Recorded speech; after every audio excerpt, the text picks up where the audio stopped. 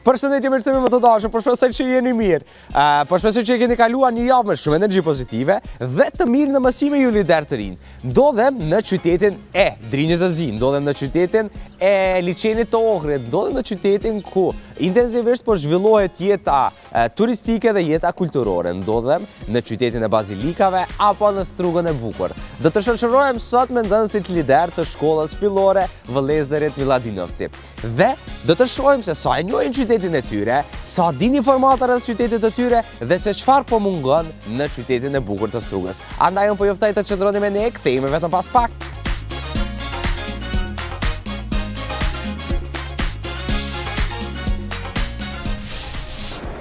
Jas sum Anastasia.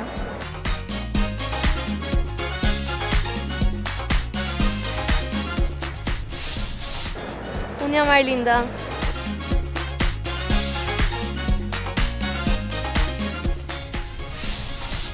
Jas sum Sara.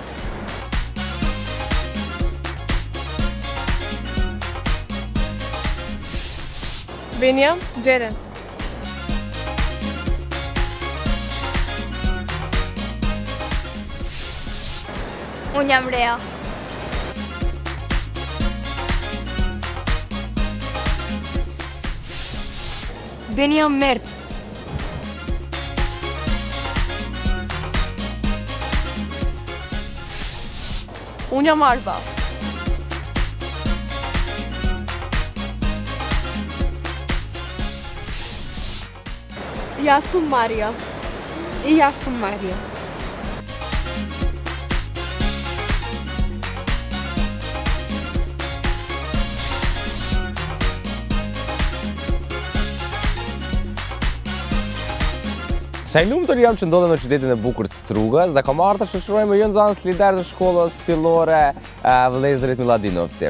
Unë për fillim, po dua t'ju pyes diçka interesante sa i përket, apo disa kuriozitete interesante sa i përket Strugës. Dhe për fillim, dua t'ju pyes kështu. se çfarë domethënie ka emri Strugë, apo prej kur daton, ose diçka karakteristike për këtë emër, kush po më tregon? Rea! Emri i lashtë i Strugës ishte Enhalon, ishte emër ilir, që kishte domethënie ngjalë, dhe emrin e sotëm e ka Strugë. Isto taka, doagja i od staroslovenskiot zbor straga, shto znaçi premin, i poradi geografskata pollozhba, I duva veter, odnosno struji, i se vika zatoa i Struga. Aha, kur kuriozitet interesant ishte kjo. E, sa banorë ka në Strugë? Arlinda?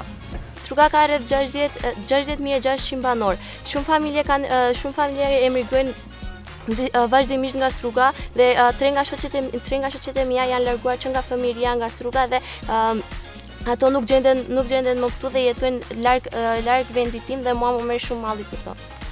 Sa i dhimbshëm është ky fakt, miq të dashur që dita ditës në shumë qytete të Maqedonisë njerëzit po migrojnë. Unë po shpresoj që kjo dukuri shumë shpejt do të zgjidhet. A, dua të di kështu sa i përket Strugës, çfarë nacionaliteti jetojnë në Strugë dhe a ka paragjykime, a ka diskriminim njëri me tjetrin. Kush po më tregon? Maria! Struga e multietniçki grad, vo koj zhiveat poveqe nacionalni grupi,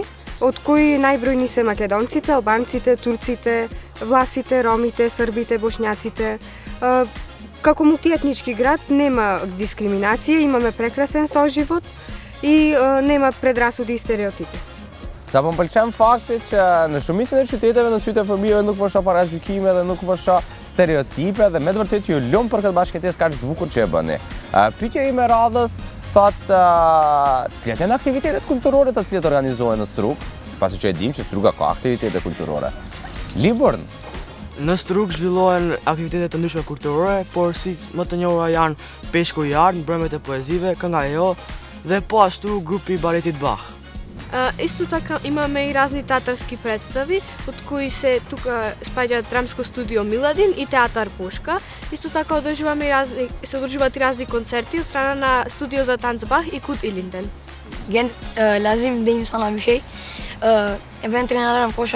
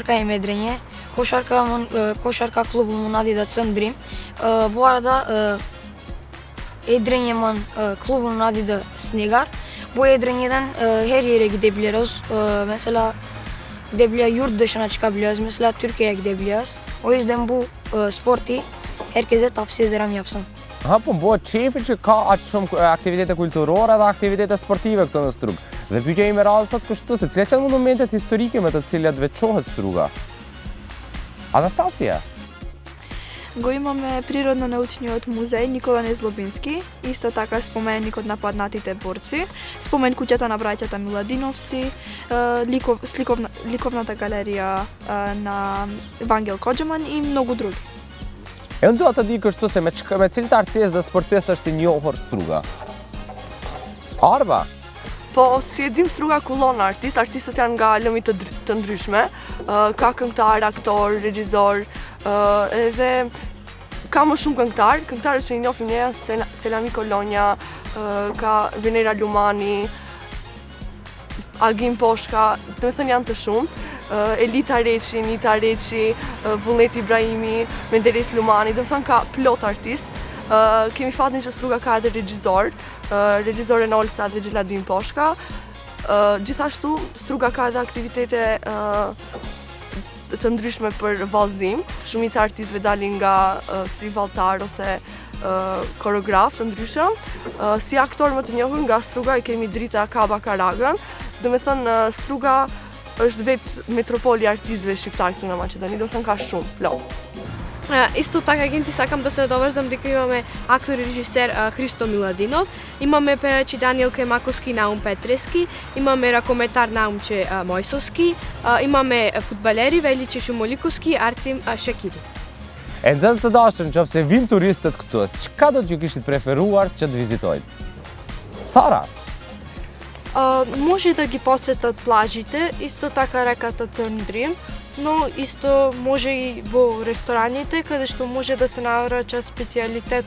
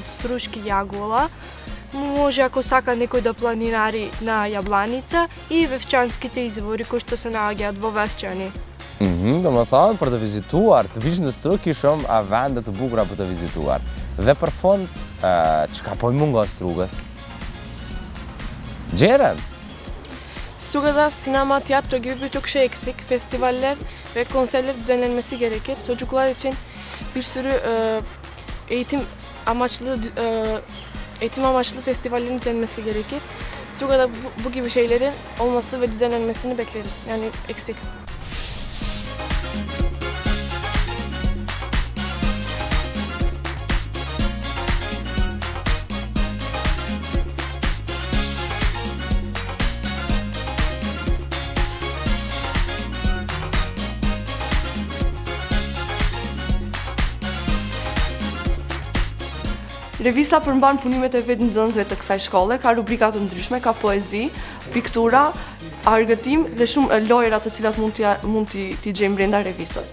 Për dizajnin më shumë do të flasë Albani. Mua arsi un unë çdoherë kam dashur të punoj me kompjutera, pa kur arsimtarja më zgjodhi mua për të dizajnuar revistën, unë u kënaqa shumë. Për dizajnimin e revistës ne përdorëm programe të ndryshme, e të, për të cilat e e bënë revistën të duket kaq mirë sa duket edhe sot. Ëm linkes. Faleminderit Alban. Programet që përdorëm për revistën ishin programe jo shumë të rënda për t'u punuar. Uh, ishin programe të Adobe dhe Adobe dhe Microsoft dhe mendoj që kjo ishte një eksperiencë shumë e mirë për, për të ardhmen dhe për karrierën tonë dhe tani për momentin jemi duke punuar për vëllimin e dytë të kësaj reviste. Revista u mundësua nga dashamirësit struganë, nga ato sponsorë që na ndihmuan të botojmë numrin e parë të kësaj reviste. Me shitjen e këtyre revistave kemi vendosur që të furnizojmë bibliotekën e shkollës tonë me libra.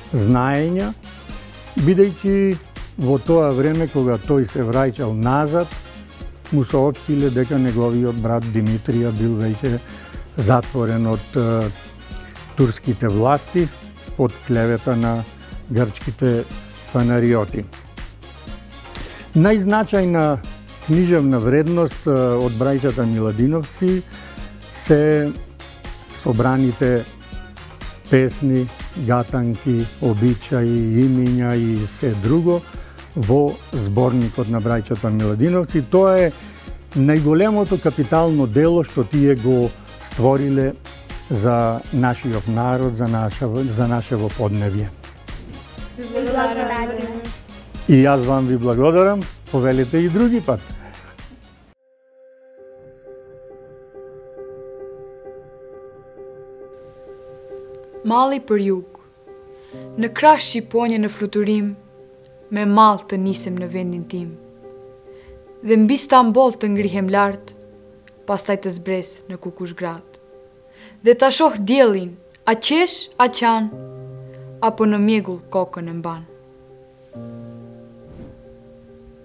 Nëse dielli më pret si murg, i pikëlluar në re e musk, do të arratisem sërish larg, në breg tjetër, në tjetër cak, atje ku dielli më i ngrohtë del, atje ku qielli plot yje mbjell.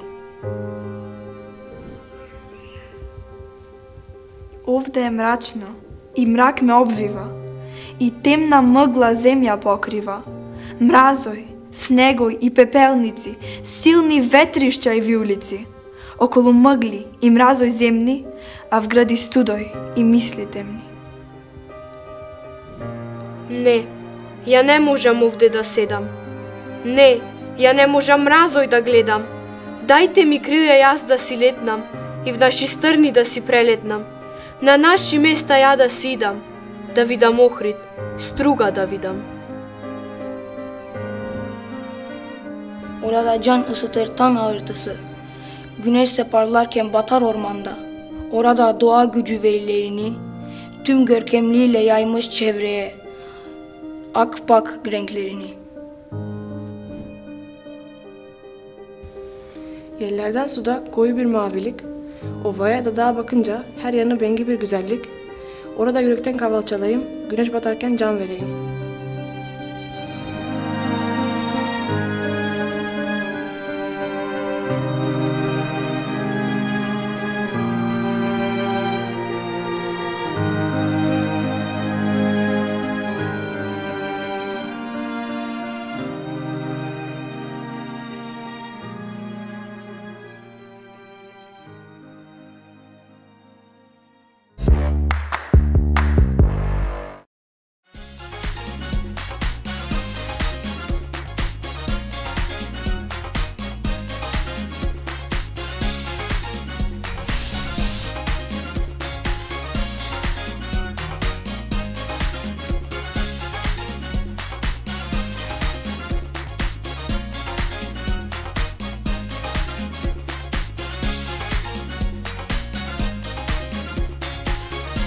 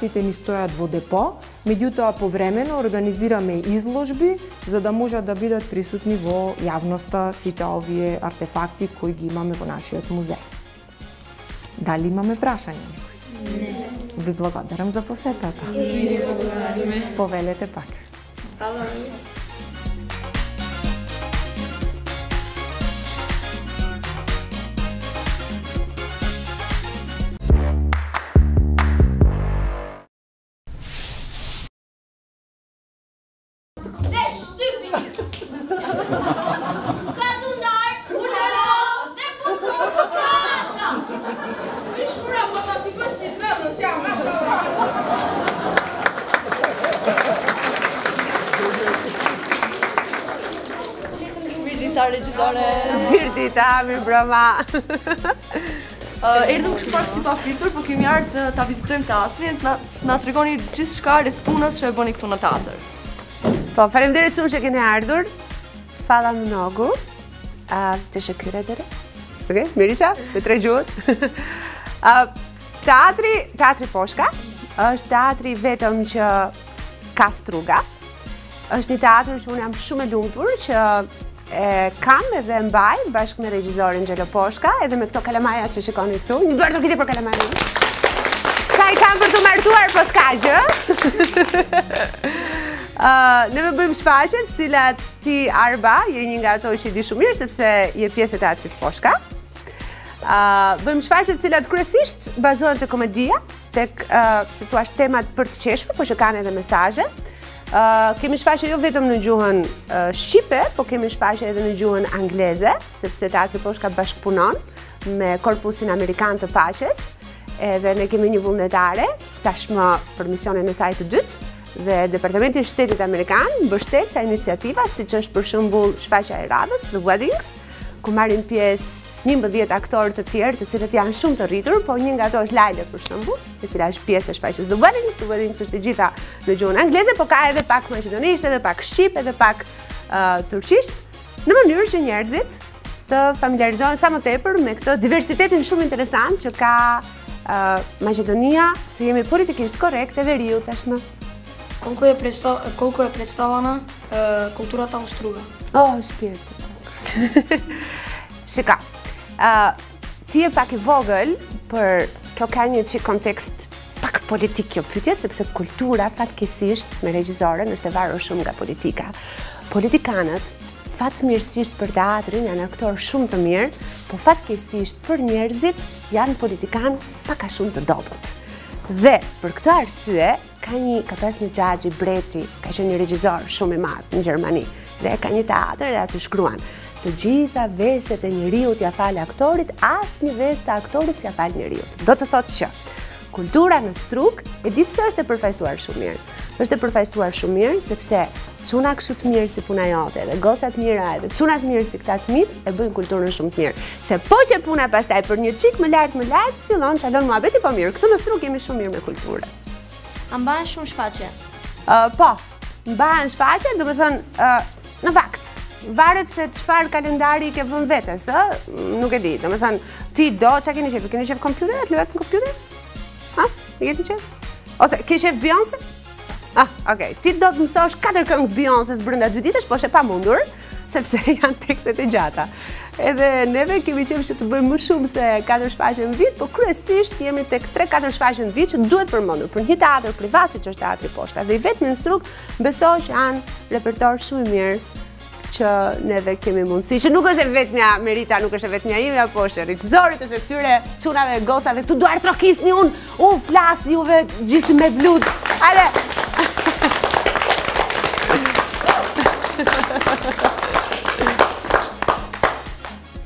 Kemi, kemi, e dimë që Struga kullon në artistë, domethënë ka shumë artistë, por në aspektin kulturor, ju, çfarë do të kishit përmirësuar në kulturën e Strugës? E para e punës do uroja që kjo fjala jote të jetë e vërtetë, struganët janë njerëz shumë të mirë, edhe ti thua që Struga kullon në artistë, po puna është që Kjo gjëja që kullon duhet të duket gjëkundi. Dhe natyrisht që Shiko, përveç se do duheshin vende pune, ku struganët si njerëz shumë të mirë dhe me vërtetë me artistë shumë të mirë të dukeshin, të kishin mundësi të manifestonin uh, talentet e tyre, unë mendoj që aktualisht Maqedonia e Veriut është një shtet shumë i varfër, i cili ato pak para që i ka, se nuk kanë shumë para, mundësisht t'i investojnë te fëmijët. Mundësisht t'i investojnë, ja si te ky programi që bëhet, që është program për fëmijët, të investojnë nëpër shkolla, t'i mbani sa më pak ato celularët, dhe të keni mënyra tjera, unë e kuptoj që doni të rrini në celular, sepse s'keni një gjë më të lezetshme që ta kaloni kohën, po në qoftë se do të kishte një investim që ta bënte më interesant kohën sesa celulari edhe ju më me qejf do të rrinit. Dua të them, ato që do kisha ndryshuar në Strugë, në Maqedoninë e Veriut, në Tiranë e Shqipëri, në Kosovë, në gjithë Ballkanin,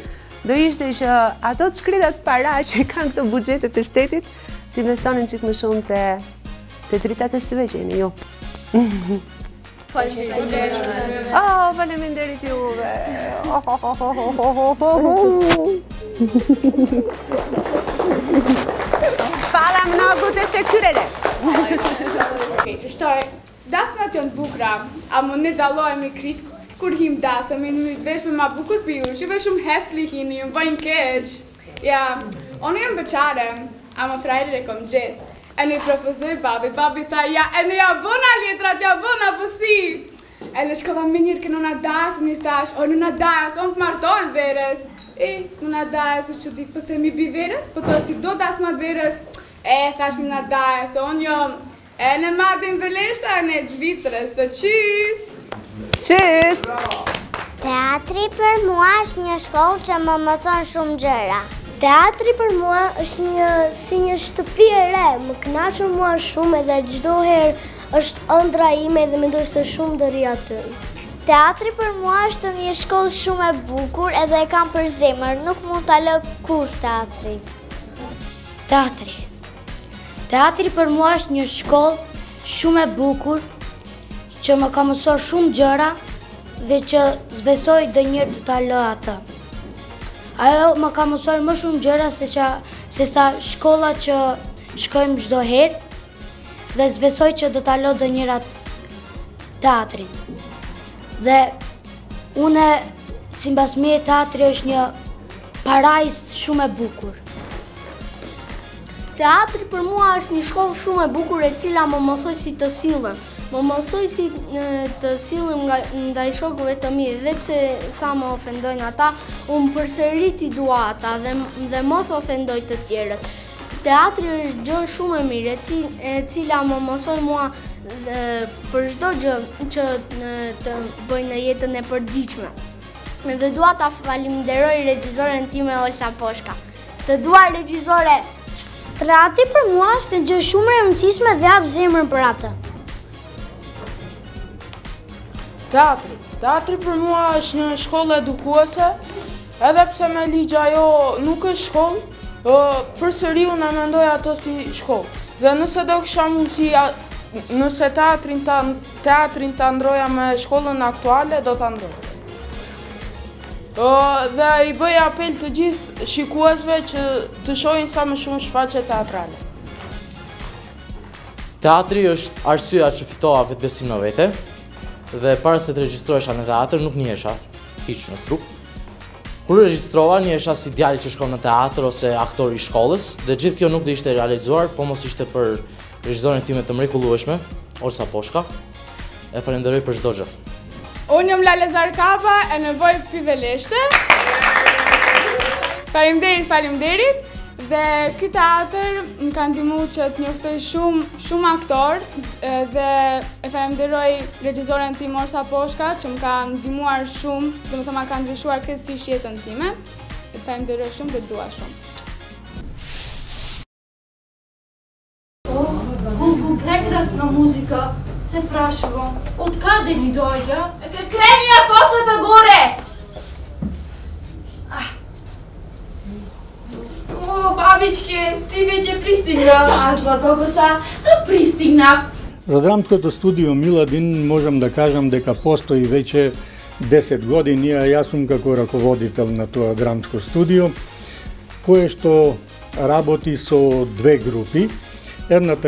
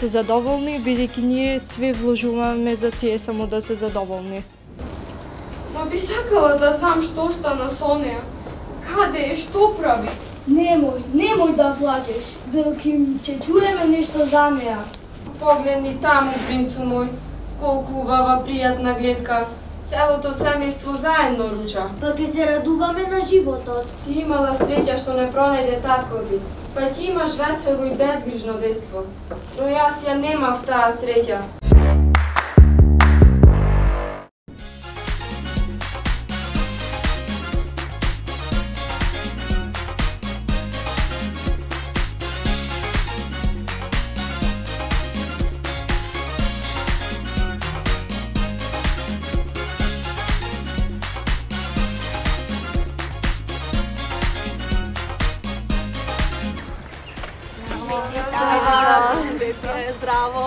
Si jeni fëmijë? Mirë! Cilat janë malet e Strugës? Siç shikoni jemi rrethuar, domethënë, qyteti i Strugës është rrethuar me male, kemi malin e Galiçicës, nga ana tjetër në fakt, mali i Jabllanicës, mali Karaorman, të cilat kanë maja të cilat janë më të larta. Maja më e lartë është në këtë pjesën këtu, është Guri i Zi në malin e Jabllanicës, Dhe pastaj kemi maja të ndryshme si Strizhaku, Parumba, Magaro e kështu me radhë. Dali ima potencial za ski mesta vo Struga? Në fakt po, ka potencial, nëse mund të shohim, disa zona kanë më tepër potencial, sidomos pjesa e Jabllanicës, atje në Belicë të Sipërme, mund të themi se ka një hapësirë e cila ofron një kapacitet për të ndërtuar pista të ndryshme për skijim, dhe Tashmë kanë filluar të ndërtohen disa pushimore atje, mirëpo sërish nuk është se do ta kisha sugjeruar nëse bëhet diçka e tillë, vetëm nëse nuk preket biodiverziteti, domethënë, mos preken bimët, kafshët, pyjet, e kështu me radhë. Koi planinski delovi bi bile atraktivni? Janë disa pjesë të cilat janë shumë atraktive, disa bjeshkë të cilat janë atraktive, një ndër to të cilën do e kisha sugjeruar është pjesa e liqeneve të Labunishtës, është bjeshkët e Labunishtës atje, Ku kemi disa liqene të vogla të formuara të cilat në dimër mund të jenë të ngrira, mirëpo në pranverë dhe në verë ofron një pamje të mahnitshme. Po ashtu edhe mali i Galiçicës, sidomos maja Magaro që është një majë shumë e lartë, ofron një pamje mahnitëse sepse prej aty lart mund t'i shikoni dy liqenet, edhe liqenin e Prespës edhe liqenin e Ohrit. Dali e razvien ruralniot i planinskiot turizam? Nuk mund të themi se është zhvilluar dhe aq shumë, mirëpo këto vitet e fundit ka filluar të bëhen disa lëvizje të vogla të cilat premtojnë që në të ardhmen mund të bëhet diçka. Sepse, thashë, edhe më përpara që domethënë jemi më tepër të fokusuar në pjesën e liqenit, në pjesën e lumit dhe në turizmin veror të cilin e ofrojmë vetëm për tre muaj ose aty dikund. Kurse tash mendojmë që me anë të bjeshkatarisë për shembull ne kemi një klub i cili është klubi alpin bjeshkatar i cili ofron çiklizëm, ofron hiking, domethënë ngjitje nëpër male, dhe kështu me radhë. Kështu të fillojë që edhe ky lloj turizmi të aplikohet dhe të ndiqet nga turistët. Faleminderit. Faleminderit. Faleminderit.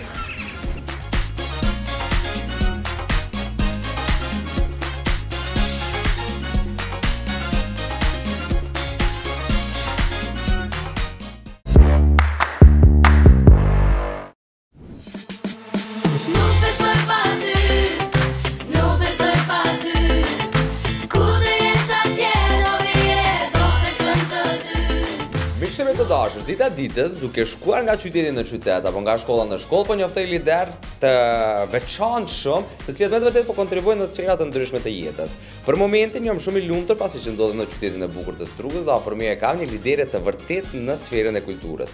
Afër meje është Ëmbla e cila na ka bindë që me projektet e saja me të vërtetë Ke bërë shumë punë të madhe. Unë dua fillimisht të të përuroj për gjithë atë mund dhe sakrificë dhe ide kreative të cilat i ke dhënë dhe dua të të pys se si lindi ideja për projektin Nuk festoj pa ty. Uh, nuk festoj pa ty është një projekt shumë i veçantë për mua, sepse më jepet rasti që të këndoj për të gjithë fëmijët me aftësitë e kufizuara dhe jam uh, shumë e gëzuar që mora pjesë ose ndryshe këndova te ky projekt Sepse të gjithë fëmijët u bënë njëlloj, edhe të gjithë mund të festonim së bashku. Mhm. Gjithashtu ti ke realizuar edhe dy këngë tjera të cilat kanë qenë të përkrahura nga disa institucione të Shqipërisë. A po na zbulon diçka më tepër rreth këtyre gjërave? Po, dy këngët tjera ishin Eja me mua edhe Shqipëria ime, të cilat ishin të sponsorizuara nga Ministria e Kulturës në Shqipëri, edhe për këtë jam shumë e kënaqur gjithashtu. Ëmbla, sa të kanë përkrahur institucionet tek neve? Cilat institucione? Aha, kuptuam, kuptuam diçka nga kjo. Ëmbla, çfarë emocione të zgjoi realizimi i këtyre projekteve? Ky projekt ishte shumë i veçantë për mua dhe më zgjoi emocione të paharrushme edhe krijova një memori të paharrushme sepse ishte një projekt shumë i veçantë se këtu në Maqedoni nuk bëjmë dhe aq shumë projekte për personat me aftësi të kufizuara Dhe jam shumë e lumtur që bëra, unë jam një pjesë e këtij projekti, që të bëj këngë për personat me aftësi të kufizuara dhe shpresoj që edhe në të ardhmen të bëj projekte të tjera për ta. Edhe jam shumë e lumtur sepse zoti Edi Rama ishte fansi im i parë mund të themi që e publikoj këtë këngë. Po, kur jemi tek publikimi i këngëve, unë kam pa dhe publikime nga artista të tjerë të këngës, dhe dua të të pyes kështu, ama sinqerisht të më tregosh, dhe pa modesti. Ë, sa është ndëgjuar kënga në shkollën tënde ku je dhe nga shoqëria yt apo në rrugë? Pasi që është një refren shumë i kapshëm.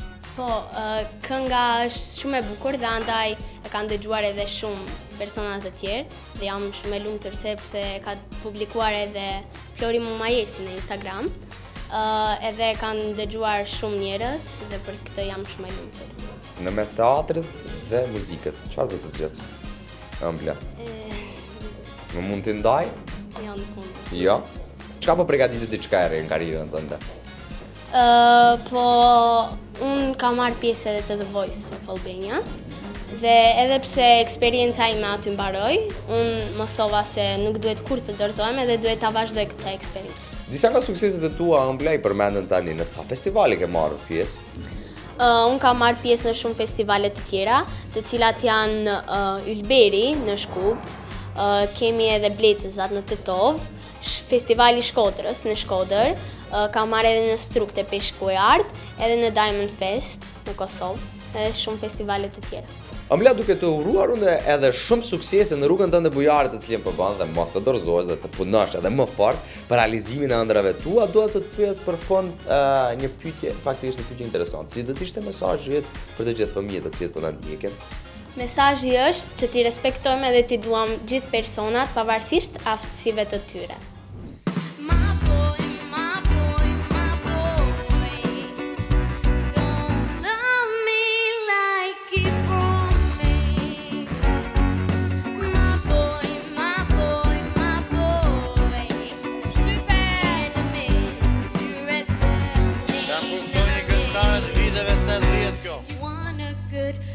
Struga